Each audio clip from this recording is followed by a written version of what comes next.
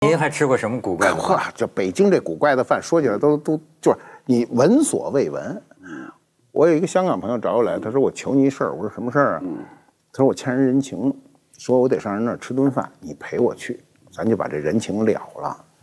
然后我说我去干嘛去啊？他说哎呦，我说这个我这北京没什么人，就说咱好歹凑一桌，咱去了吃一顿饭，我把人情还了。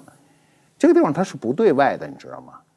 我约我还约了另外几个人，全都找不着，就费好大劲，最后才都终于一共就六个人凑齐了，到他那儿吃饭。一进去啊，就非常不起眼这个地方。进去以后，一进屋我就傻了。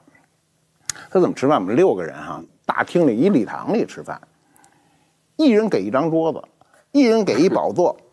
这六个人呢，谁也不挨谁，谁也不挨谁。然后我这么大个儿上去，腿是啷当着的，就跟幼儿园的似的。然后一人一大桌子，六个人，我说在这屋吃饭吗？他们说吃饭。嗯，我说那这饭没法吃。我说你这这是什么人情啊？我说这个受不了。嗯然后后来我说我这个没法吃，因为这个桌子跟那个桌子隔着得喊。对我说咱换一个，然后呢，又换了个地儿，换了一张大桌子，也算那个椅子也是超大，就是腿不着地。最后吃完了以后，那老板一来一看是我说啊。马先生来了，免单了。他那吃饭特贵，你知道吗？他还他这一个，这叫刷脸，啊就是刷脸了。结果马先生结果就欠上了。呃结果呢没没有还人情，还把这单给免了。所以这金爷有个著名的论断啊，说这个呃中中国文化的奥秘在于饭局，嗯，饭局对，这种饭局，我们的聚会就是都是饭局，有事没事就吃饭，啊，就是家里面一般都是不接待。九零、我记得是九十年代后期，等你家里房子都装修了，有什么客厅了，你家里就不接客了，哎，都是事情在外头吃饭。对，所以我也是有一次和我一个朋友，他开饭店的嘛，我说，实际现在最精彩的事情都是在饭局中发生，最精彩的内容，就像我们四四个人聊天，你有一些饭局里面到到底他们在聊什么天，你可以发现城市最最有魅力的啊这些秘密，那真的是什么话分门别类都在讲，都准备要在饭桌上讲。嗯我而且发现每个每次吃饭都是每个人都在肚子里在做文章一样，比如就像我们现在一样，我比如马爷在说，呃，我我心里就在想，我等会说一个什么，哦，这个可能是一个中国人的习惯，就是大家要在圆桌子上。我不是刚才说那种年轻人，可能现在都是拼桌啊什么，他就没有这么一个气场。你有一个圆桌子，会等于是一个故事会。对，而且会老是有角有角色分配。对的，就是呃，我经常我跟我一个朋友讲，他就老喜欢在家里搞家宴嘛。我有几次去，然后我说。为什么你这个家宴，我一推门进去，总有一个水瓶座男呢？什么意思呢？就是老有一个人在那嘚嘚嘚高谈阔论，所有人在那听。水瓶座的人也得不得？不好意思，你不是水瓶座，我不是，我不是，我没有我这呢。挑战了马爷的对呀。我就那个开玩笑，就是在他总会有一个人说特别多，然后不断的讲他的事儿，然后大家听，然后呢有几个人会在那儿和弦，然后总有一个人呢是那种什么秘书或者这种这种角色去负责把所有的事情给安排好。所以我发现那个饭桌上他会自动的就发生这种角色分配。那天我看一外国相亲的网站的说，也不叫他们不叫约，他们叫约会儿约会儿。说现在的年轻人真的跟咱们这岁数不一样，这男的都能到什么程度啊？就是说俩人就是呃交友软件约了，啪见个面儿，见个面之后呢，这男的看了看，就是说建议咱们俩 share 一个汉堡包，啊，然后呢就弄一汉堡包，汉堡包来了之后呢，这男的把这个汉堡包一切为二，然后看了看，自己又把那大的那个，然后完了最后就说这个 A A 制。后来他们讲这个段子就说什么呢？说你看西餐呐、它 A A 制有合理性，对，它是分餐制的，一个人一个，那确实可以分得清楚。中国人实际上呢是分不清楚的。也就你在国外生活过，你觉得他们说的那种说老外真的就是这个 A A 制，甚至 A A 到夫妻吗？没有没有，我觉得还分人分人分人，但是有哎，其实有，就说有的时候你会发现你要抢着买单，他们会特别惊讶。我就前一阵子我在英国，我跟几个朋友，其实我们都还是就我们以前是同学，都算比较熟的。然后去博物馆完了，大家就喝杯咖啡，其实没没几个钱，然后到要买单了吧，其中一个就问我说：“哎，先先他先说你这能报销吗？”我说不能报销。然后那我一想说。我说这没几个钱呀，你想就一杯咖啡就就是几个英镑嘛，我就买了。然后我就想还要，因为我信用卡还要分开很麻烦。然后另外一个女孩就非常惊讶，她就她她她当然就很感谢我了，但是那种感谢程度，我就觉得像我请了一个什么大餐一样。她就是说特别感谢你，我就不至于吧，就就就几磅钱。但是他们呢，有时候就咱们中国人讲面子面子哈，他们现在英语不是也收录了这个词嘛，就是那个 save face 嘛。但这个是一个很中文的表达。他们说那个老外如果在中国住过，他们会明白你在说什么，叫那个 save face。他们我还我他们说他们一般不这样认为，他们所谓的面子就是尊重，是那个 respect，就是你对我有足够的尊重就够了，不像咱们的面子好像分得很细，甚至要到怎么样才算个面子啊，怎么怎么样就很复杂。得有光啊，光有面子不成，面子得有光怎么解？怎么理解？就是别人看得见，得让别人看见啊。还有一个面子上的问题，就是说是不是一个平等的？就是说，你比如说送我一个三百块钱的东西，请我吃三百块的饭，我要比你多一点。啊，那么这个就是日本人说起来说不要给人家添麻烦，是吧？所以日本人送礼都送很小的东西，我觉得这个是非常好的。对，点了一桌子菜也有这种，啊，就是要让你觉得啊，你你你的礼物非常贵重，或者你请的饭非常好，啊，他不是从这个，你刚才说这个买单，可能也是他们那边平常都是，啊，大家都是哎，就是说被惊到了那种感觉。对对，但有点被惊到了。啊，这个这个这个还有一个问题哈。就是早期吃饭就有人特别爱请客，他其实是他的社交。对，北京有一个非常重、非常有名的一个家宴，谁家菜 啊？他们家呢就是在家里，就是在一个宿舍楼里。嗯，他买了，当时买了两个大的呃房子给打通，然后他们家的厨房可能还衔接到其他房子，就是一个正经的操作的厨房，永远有三四个厨子在那干活。他们家是吃流水席的，吃流水席呢。永远是桌子拼桌子，大桌子套小桌子，就是不规则的一个桌子。然后呢，因为我跟这个人还算挺熟的，但是我没去过他那儿吃饭，他三番五次的邀请我吃他们家家宴，那我就去了呗。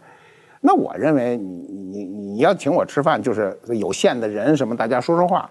但是他那个家宴永远有生人进来，就是你吃半截就会有人。哦，我可能知道你说谁。对，你这非常有名。然后不停的要加凳子。加凳子呢，就是加凳子加到什么程度呢？加到最后就是，咱俩虽然不熟，咱俩得坐一凳子上，就是因为人太多。然后呢，在吃饭的时候，最后出来以后，他他们就问我有什么感受哈？我说唯一的感受是我平生没吃这么吃过饭，就是全侧着吃，因为人太多了嘛。他把那也十个人的上面能坐二十个人的筷子，我说我从头到尾都是这么吃饭，要不然你这么转不过来，不够宽吗？左撇子还不行啊？不是，那左撇子也叫侧着身也行嘛？就是，就是他就是。就是从我到来到走，他是不停的上菜，这个菜吃完了，你可能你就走了，下边又来人又吃，他那个饭连轴转的吃，非常有名的流水席在北京很有名。后来据说后来搬了。你说这些人他过的是个什么瘾呢？就我我就不知道，他那时候还因为他是宿舍楼嘛，一进他们家门口那走廊里，就是那个二十四瓶一箱那塑料筐里垛着那啤酒，垛着垛着，像那个餐厅里都没那么多啤酒。他就喜欢这事儿，他往里搭钱呢。对呀，没有人给钱啊，到这都是白吃的，就是图一热闹。而且在这一桌子上，从你进你进来的时候，人家已经正在吃呢。你甭管什么点进去，你人家正在吃。等你走的时候，还有新人来，就是就是这样。就像以前那种人，不是有门客吗？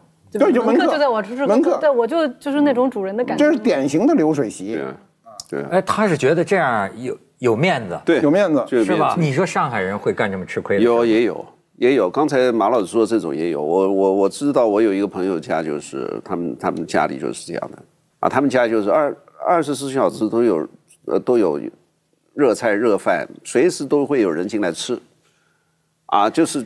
他这个不是像他江湖老大的感觉啊，他不是还有一个可能是因为工作原因，比如有的人那个那个晚上十一点钟来或者什么样的。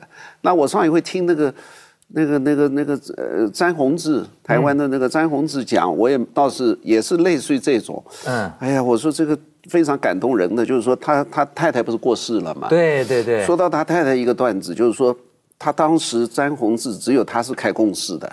像那种什么罗大佑啊，什么什么杨德昌啊，这批人都是当时在玩电影，那么都没公司，那么就叫那个，就是说，呃，要叫那个詹宏志出面。对啊这帮人都是半夜三四点钟都会来敲他们家门的，啊，一敲门，他太太就开门，就第一句话就说：“你吃过饭没？”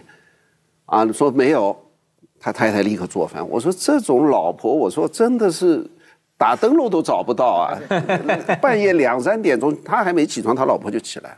他老婆是个台湾很有名的一个美食家嘛，哦，所以大家愿意去吃也。就是去前几年过，突然突然过世，完了他在上海做了一桌他太太的菜，好像在杭州也呃，对，杭州那次还请我去摆，了两我就是因为录咱们节目也没能享受到。就是说他他家里就变成一个，就是随时过来就吃饭，他太太就起来给给给给做，就是这样。那他这种亲力亲为太少了。我说呢是家里有厨子，其实，在中东啊，也有好多也是吃，就是吃饭那个面子更吓人。比如他今天要请你吃晚饭吧，你早上就得去，哦，那算了。你得在人家家里待一天。他不，他一个是跟你就是说，他吃饭除了吃饭本身是个面子，就耗时间，你得跟他耗时间，就是给面子。哎，你早上就得去，开始啊，其实也没什么可聊的，就陪他看电视，你也得去。然后呢，你吃完了吧，你至少得告别三次，你就这才能真的走。不行啊，不行，你可不行不行，那在这你再待会儿，就是跟谢幕似的。啊，我就觉得这种中国人，你看一见面就是吃了没有啊？好像这个这个吃是挂在嘴边上。你看过去七十年代的时候，有票证的时候，多少户人家过年的这顿饭要凑，要几个月买东西凑这一顿饭，哎，对对对你说，是吧？就是说，这个是最重要的，这是文化，这个这个真是我们中国的文化。而且呢，就是还真是，就是说这种饭局的主人呐，我觉得是一类很特殊的这个人。你像我有的朋友就这样，我就很钦佩这样的人，就是因为呢，就像你说那个类似于流水席啊，他这个后来我想象一下，实际上他就是家里啊就没断过人。对对对，这个这个巨大的这种交际能力，你现在要像我这个宅男，我的天哪，那不是精神崩溃了？他就是从高兴然后呢，你可能这一家人呢，他就是杭州的名人、上海的名人，或者北京某个圈儿的名人，谁来了朋友都知道往他家带。对这他呢，就是坐在那儿，哈，这哗哗哗哗。当然，你你你不能从实，你你可也可以从实际的角度去理解他。那当然，这个关系网是不得了的，对吧？但是从另一个方面来讲，我觉得这也是一种人，就是他过这个瘾，他心理上的极大的满足。这这咱就折磨呀！我就说这家从早你得穿，至少你得穿好衣服吧。嗯，这家一波一波、一批一批的就来啊。尤其他变得非常有名的时候，就他流水席有名的时候，全是生人，嗯就是都是生人。嗯，有时候还一开始还介绍介绍这张三李四，后来就谁爱谁都不认得，就也没介绍也白介绍，就不介绍了。吃完就抹抹嘴儿就走了，都特高兴。你你像那个你讲这个，就我就我我就发现有的人有你比如说那个美国有个艺术家叫那个安迪安迪沃霍，嗯，现在不是卖上亿的那个哈安迪沃霍，他到最后呢，就是他有一个那个大的 loft，就一个一个车间，最后你就觉得所有的纽约的这个社会零散人员、街上的流浪汉、精神病，各种各样的这个这个带着人就到他那儿就吃喝。哎，他当然跟他搞的艺术有关系，他就可以观察。不是他甚至他录，啊，他就录，所以后来有些人就说他利用这个一些个比较弱势的人，他就不管，他永远看着也有这个这个这个乱七八糟的那种畸形的人呐、各种各样人都知道他这个大车间一样的地方是一个，就都往这儿来，他拍，最后一直到发生了一个事儿嘛，就是他拍的一个街上的一个女子，最后冲他开了一枪嘛，嗯，啊，这是重伤，就发生那种事儿。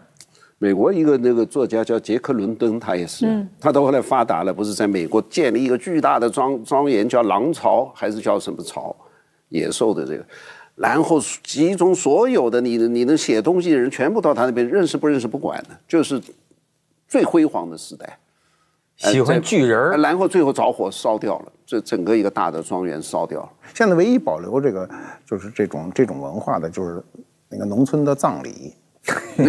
农村葬礼都是吃流水席的，对对对农村葬礼还是以来人多为荣的，就是谁家老爷子死了，说吃三天大席流水席，人来的来的越远的人越尊贵。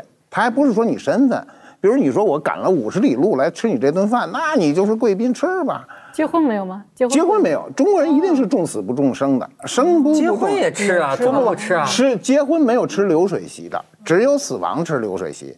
结婚就是那一顿，完了散了。死亡是死亡，农村吃三天是正常的，有钱的人就是三天从早吃到晚。哎，你说这然后那个丧葬文化，那个就是就那个吹鼓手们，就是唱歌的，现在有唱戏的，什么都有，那就是一天都不那嗓子都不闲的。等于说一个聚会了，实际是一个一个一个十里八，如果你这人是很有名望，或者就是有钱啊，然后十里八村的人都过来吃一顿。所以问题是，就永远是谁来买单？你比如说，所以我我我又想起说，您您说这上海，他们现在这个婚礼，您说到底是赚钱的还是亏钱的？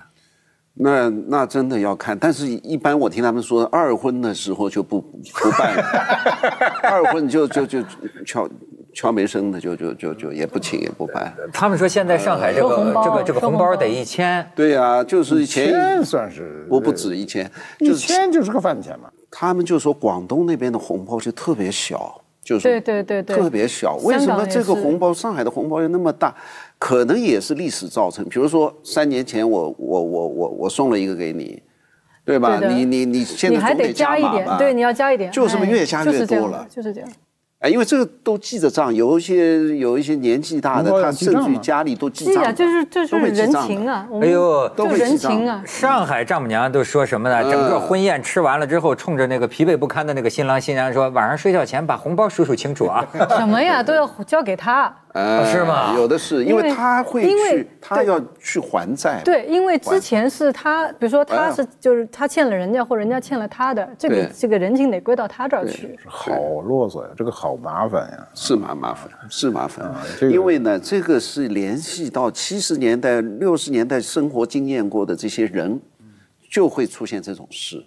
哎，将来我相信也没有，因为这一代人的家长都是都都是六七十年代都是非常非非常紧绷绷的过日子的。我觉得那种那种人情，它就是个枷锁，那种面子啊，我就觉得你当活你活半天，就觉得老你这一辈子记的账都是给别人活着。对对”对，所以所以我就在这点上，我觉得这个上海的很多现在还有的这个风气啊，我就觉得特难理解。按说上海人是最实际的人，对吧？嗯。但是呢，他的这是很有意思。你比如说，呃，买戒指，呃，买买买买买婚戒，那可能隔壁那个阿姨就来了，哦，这是八十一分的啊，说还是还还是有点小。那等我们女儿结婚的时候，还是要一克拉的好啊。然后说啊，这个大衣就是它有一套，你得按照这个来。我有时候就想，你像咱们这种我心狂野的，我就不办了，行不行啊？你干嘛办？不办不也是？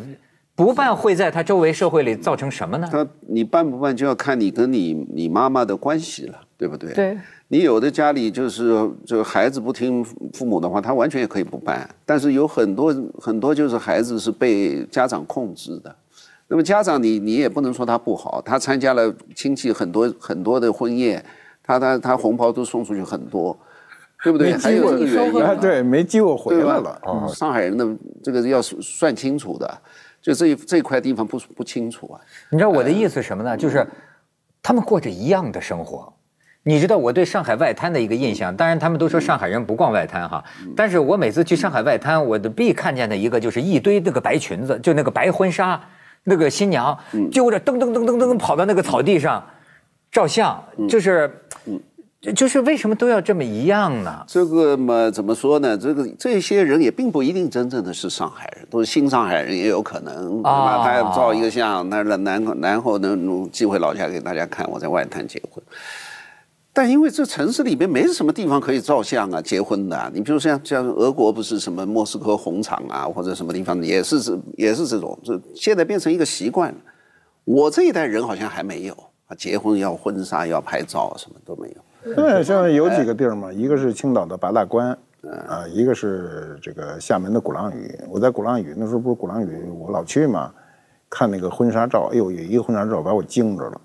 那女的，哎呦，这因为我先看见是正面大白婚纱，哎呦，那很漂亮。一转身后背，昨天晚上急得火大，全是拔罐子那红印儿，后背跟个金钱豹似的，全是。我说这得多大火呀！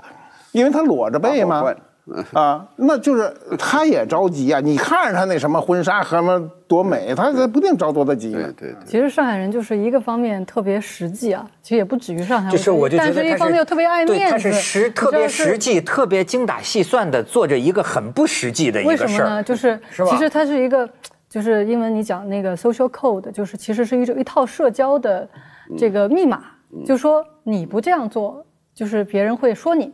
你觉得你是生活在一个社交密码的网络当中？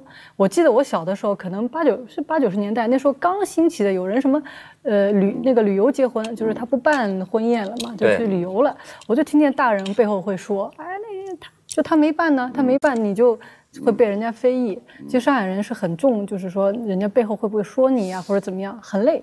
刚才那个文涛说的，他是一个一个一个好像大致上面上海有那么一个情况，但真的落实在个人上，也是每个人不一样的。嗯，有的人也就不记，呃，周围我也有些，我刚才在想，哎，有的人也就，呃，悄悄的办一下就好了。